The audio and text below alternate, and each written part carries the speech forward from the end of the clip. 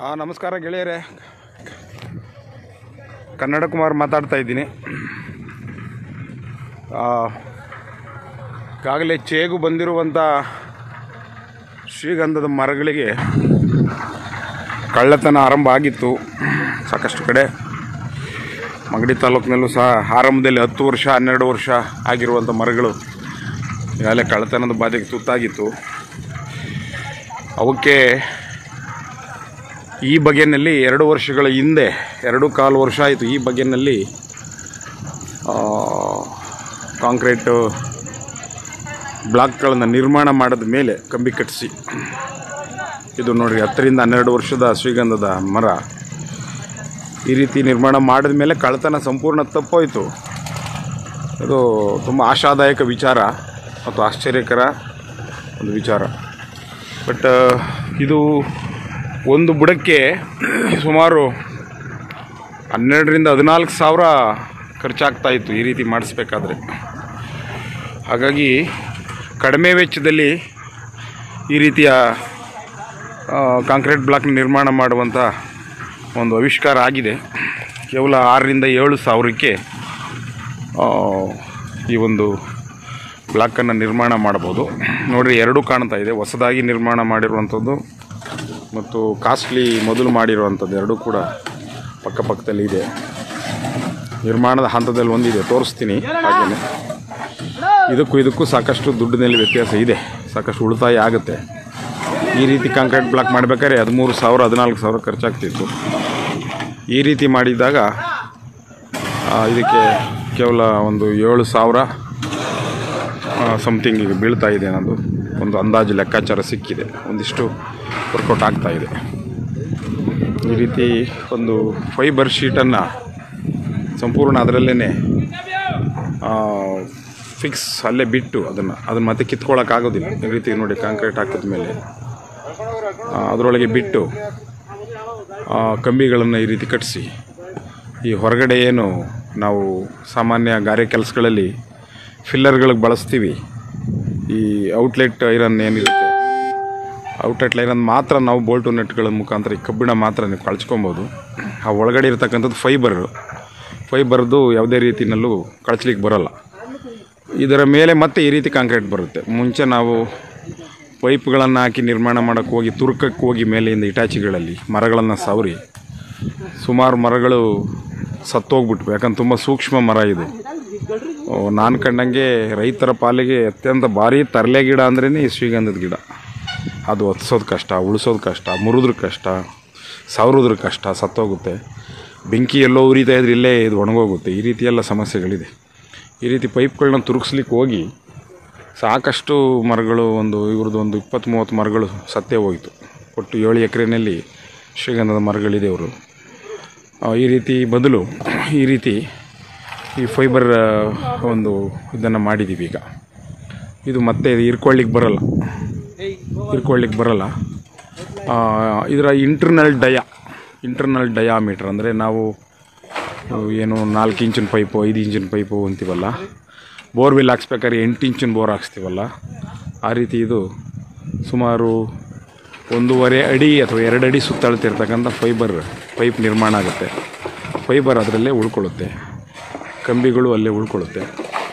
ಈ outlet concrete ಏನು ಈ ಒಂದು ಐರನ್ ಹಚ್ಚಿದೆ. ಹಚ್ಚುಗಳನ್ನು ಮಾತ್ರ ನಾವು ಕಳ್ಚ್ಕೊಬಹುದು ಈ ರೀತಿ ಒಂದು ಹೊಸ ಒಂದು ಆವಿಷ್ಕಾರ, ಆಲೋಚನೆ ಯಶಸ್ಸಿನ ಹಂತಕ್ಕೆ ಬಂದಿದೆ.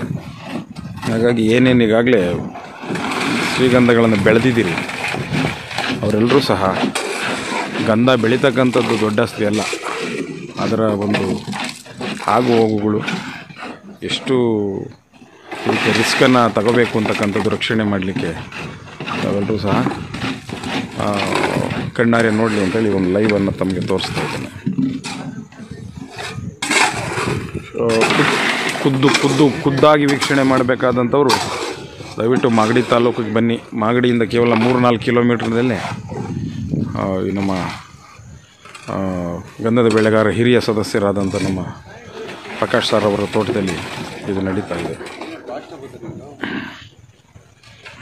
ಹೀಗಾಗಿದೆ. ಈಗ ಇದು ಹಳೆ ಮಾದರಿ. ನೋಡಿ, ಕಂಪ್ಲೀಟ್ ಆಗಿದೆ ಹೊಸ ಮಾದರಿ. ಇದನ್ನು ಕ್ಯೂರಿಂಗ್ ಆಗಬೇಕು ಸಾಕಷ್ಟು. ಕ್ಯೂರಿಂಗ್ ಆಗಬೇಕು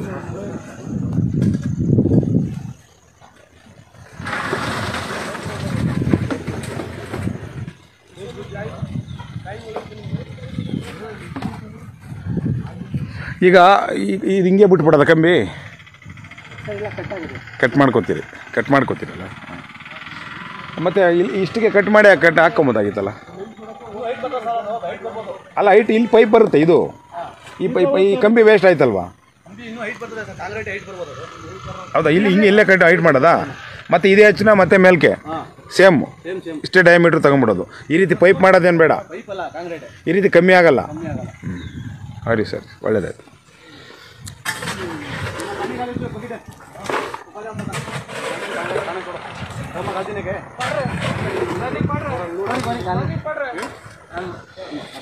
ಹಾಂ, ಓಕೆ, ಇದು ಒಳ್ಳೆ ಐಡಿಯಾ. ಇನ್ನೊಂದು, ಏನು ಕೆಳಗಡೆ ಈ ಕಬ್ಬಿಣದ ಒಂದು ಅಚ್ಚನ್ನು ಇಟ್ಟಿದ್ದಾರೆ. ಇದು ಹಾಗೇನೆ ಮೇಲೆ ಮತ್ತೊಮ್ಮೆ, ಇದು ಕ್ಯೂರಿಂಗ್ ಆದಮೇಲೆ ಮತ್ತೊಮ್ಮೆ ಮೇಲಿಡೋದು, ಮತ್ತು ಇಷ್ಟು ಸುಮಾರು ಎಂಟು ಅಥವಾ ಹತ್ತು ಅಡಿ ಪೈಪ್ ನಿರ್ಮಾಣ ಆಗುತ್ತೆ. ಹತ್ತು ಅಡಿ ಪೈಪು ಈ ಗಾತ್ರದ ಪೈಪ್ ನಿರ್ಮಾಣ ಆಗುತ್ತೆ. ಸುಮಾರು ಒಳಗಡೆ ಡಯಾಮೀಟ್ರು ಒಂದೂವರೆಯಿಂದ ಎರಡು ಅಡಿ ಇರುತ್ತೆ. ಇಷ್ಟೇ ಡಯಾಮೀಟ್ರ್ ಪೈಪು ಸಂಪೂರ್ಣ ಮೇಲಿನ ತನಕ ನಿರ್ಮಾಣ ಆಗುತ್ತೆ. ಸುಮಾರು ಅಂದಾಜು ಎಂಟರಿಂದ ಹತ್ತು ಅಡಿ ಇದಿದೆ. ಮತ್ತು ಭೂಮಿಯಿಂದನೂ ಸಹ ಇದನ್ನು ಸೇರಿಸಿದ್ದು ಭೂಮಿನಲ್ಲಿ ಕೊರೆದು ಭೂಮಿಯಿಂದನೂ ಈ ಕಾಂಕ್ರೀಟನ್ನು ತೆಗೆದಿದ್ದಾರೆ. ಕಳ್ಳರು ಇದನ್ನು ಕದಿಬೇಕಾದ್ರೆ ಬಹಳ ಹರಸಾಹಸ ಮಾಡಬೇಕಾಗ್ತದೆ. ಈ ರೀತಿ ಆಗ್ತದೆ. ಇಲ್ಲಿ ಕೆಳಗಡೆ ದೊಡ್ಡ ಡಯಾ, ಮೇಲ್ಗಡೆ ಸಣ್ಣ ಡಯಾಮೀಟ್ರ್ ಆಗುತ್ತೆ. ಇದು ಹಳೆ ಪದ್ಧತಿ, ಇವರು ಎರಡೂವರೆ ವರ್ಷದಿಂದ, ಎರಡು ಕಾಲು ವರ್ಷದಿಂದ ಮಾಡಿರುವಂಥದ್ದು ಇದು. ಅದರ ಬದಲು ಕೆಳಗಿಂದ ಮೇಗಲ್ ತನಕ ಒಂದೇ ಡಯಾಮೀಟ್ರ್ ಬರುತ್ತೆ. ಮತ್ತು ಸುಮಾರು ಮೂವತ್ತು ವರ್ಷ, ನಲವತ್ತು ವರ್ಷ, ಮೂವತ್ತು ವರ್ಷ ಗಿಡ ಬೆಳೀಲಿಕ್ಕೂ ಸಹ ಇದು ಅನುಕೂಲ. ಮೂವತ್ತು ವರ್ಷ ಸಹ ಗಿಡ ಇದರೊಳಗೆ ಬೆಳಿಬಹುದು. ಆ, ರೀತಿ ಇದ್ರೆ ಸಂಪೂರ್ಣ ಇದ್ರು ಪೂರ್ಣವಾಗಿ ಬಂದ್ಬಿಟ್ರೆ. ಈ ಪೈಪನ್ನು ತುಂಬಾ ಒಂದೂವರೆ ಅಥವಾ ಎರಡು ಅಡಿ ಡಯಾಮೀಟ್ರ್ ಬಂದ್ಬಿಟ್ರೆ ಆ, ಆ ಒಂದು ಮರನೇ ಮೂವತ್ತು ಲಕ್ಷಕ್ಕೆ ಇಪ್ಪತ್ತೈದು ಲಕ್ಷಕ್ಕೆ ಮಾರಾಟ ಆಗಬಹುದು ಅಂತ ಒಂದು ಬೆಲೆ ಬಾಳುವಂಥದ್ದು ಆಗ್ತದೆ. ಈಗಾಗಲೇ ನೋಡಿರೋ ಉದಾಹರಣೆಗಳಿಂದ ಅದು ಸಾಬೀತ ಹಾಗಾಗಿ ಸಾಕು ಒಬ್ಬ ರೈತನಿಗೆ ಐದು ಲಕ್ಷ ಸಿಕ್ಕಿದ್ರೂ ಎಷ್ಟು ಆಯಿತು. ಒಂದು ಬುಡಕ್ಕೆ. ಅದರಲ್ಲಿ ಇವರು ಇಪ್ಪತ್ತೈದು ಮೂವತ್ತು ಲಕ್ಷಕ್ಕೆ ಗುರಿ ಇಟ್ಟು ಮಾಡ್ತಿದ್ದಾರೆ. ಅದು ಎಷ್ಟೇ ಲಕ್ಷ ಆದ್ರೂ ಪ್ರತಿಯೊಬ್ಬ ಗಂಧದ ಬೆಳೆಗಾರರು ಸಹ ಈ ರೀತಿ ಖರ್ಚು ಮಾಡಲೇಬೇಕಾಗ್ತದೆ.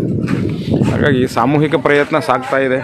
ಕೇಂದ್ರ ಸರ್ಕಾರಕ್ಕೆ ಒತ್ತಡಗಳನ್ನು ಹೇರ್ತಾ ಇದ್ದೀವಿ.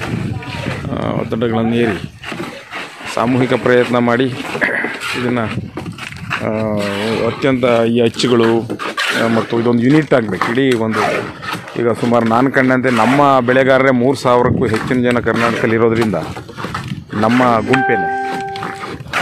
ಈ ಮೂರು ಸಾವಿರ ಜನನೂ ಮಾಡಿಸ್ಕೋಬೇಕು ಅಂದಾಗ ಹೆಚ್ಚಿನ ಕೆಲಸಗಾರರು ಹೆಚ್ಚಿನ ಒಂದು ರೀತಿಯ ಅಚ್ಚುಗಳು ಮಾಡಿಕೊಂಡಾಗ ಒಂದಿಷ್ಟು ಇನ್ನೂ ಹಣ ಉಳಿಸುವಂಥ ಕೆಲಸವನ್ನು ಮಾಡೋದು ಅಂದರೆ ಬಲ್ಕಾಗಿ ನಾವು ಕಬ್ಬಿಣ ಸಿಮೆಂಟು ಕೆಲಸಗಾರನ ಹಚ್ಚುಗಳನ್ನು ಮಾಡೋದ್ರಿಂದ ಸಾಕಷ್ಟು ನನ್ನ ಅಂದಾಜಿನ ಪ್ರಕಾರ ಒಂದು ನಾಲ್ಕು ನಾಲ್ಕರಿಂದ ನಾಲ್ಕೂವರೆ ಸಾವಿರಕ್ಕೆ ಈ ಒಂದು ಈ ರಕ್ಷಾ ಕವಚವನ್ನು ಗಂಧದ ಗಿಡಕ್ಕೆ ನಿರ್ಮಾಣ ಮಾಡ್ಬೋದು ಅಂತ ಅನಿಸಿಕೆ ಆಗಿದೆ ಏನ್